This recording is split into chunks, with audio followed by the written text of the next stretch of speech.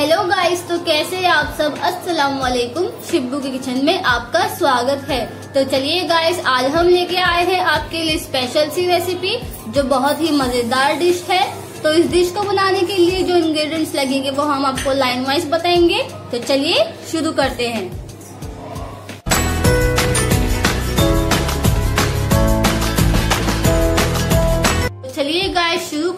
आज की रेसिपी के साथ जो है चिकन कौरमा जिसके इंग्रेडिएंट्स ये है। सबसे पहले हम एक बोल लेंगे, उसमें हम दही ऐड करेंगे। इसमें धनिया पाउडर ऐड करेंगे। और फिर कश्मीरी पाउडर और रेड चिल्ली पाउडर एक एक चम्मच ऐड करेंगे।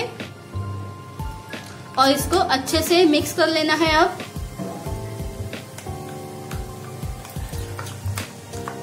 अब हम एक चम्मच घी ऐड करेंगे।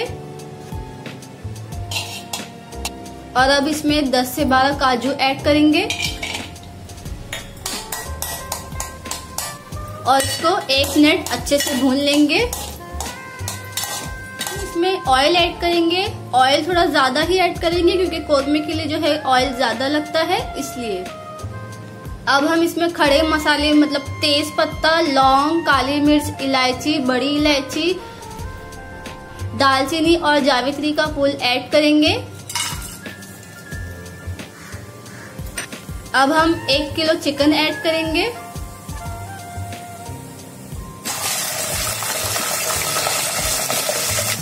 और अब हम इसमें दही ऐड करेंगे। अदरक लहसुन का पेस्ट एक एक चम्मच ऐड करेंगे।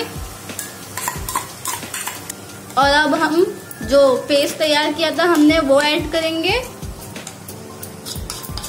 तीन से चार हरी मिर्च ऐड करेंगे और थोड़े से अदरक के लच्छे। और स्वाद अनुसार नमक। और अब हम इसको अच्छी तरीके से मिक्स कर लेंगे और 10 मिनट के लिए जो है, इसको अच्छे से पकते रखेंगे। अच्छे से जो है हमने मिक्स कर लिया है तो मिलते हैं 10 मिनट के बाद। अब हमने घी में जो काजू फ्राई किए थे, वो ऐड करेंगे।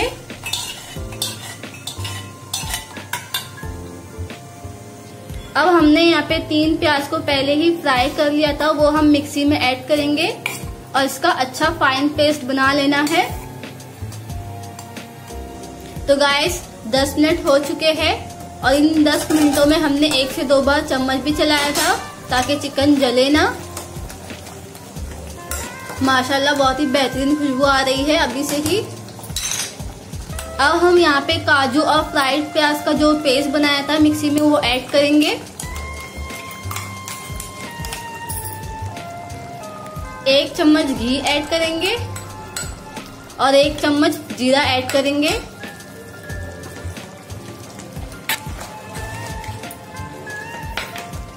जिस मिक्सी में हमने पेस्ट बनाया था, काजू और फ्राइड प्याज का, वही मिक्सी में हमने पानी थोड़ा सा ऐड किया है, वही पानी इसमें ऐड किया है कोरमे में।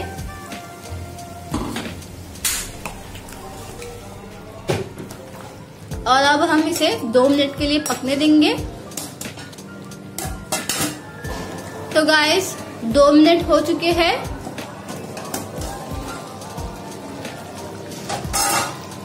और अब हम इसमें केवड़ा वाटर ऐड करेंगे, आधा चम्मच।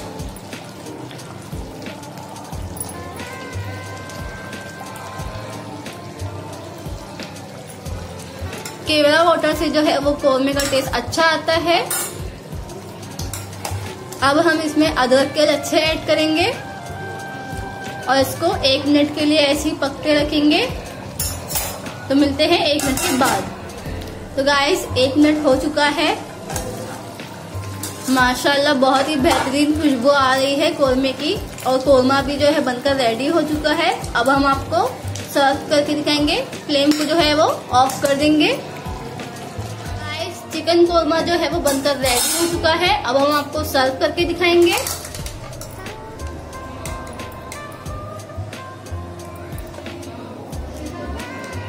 लीजिए गाइस चिकन कोरमा बनकर रेडी हो चुका है। आप हमें कमेंट करके बताएँ कि आपको हमारी रेसिपी कैसी लगी।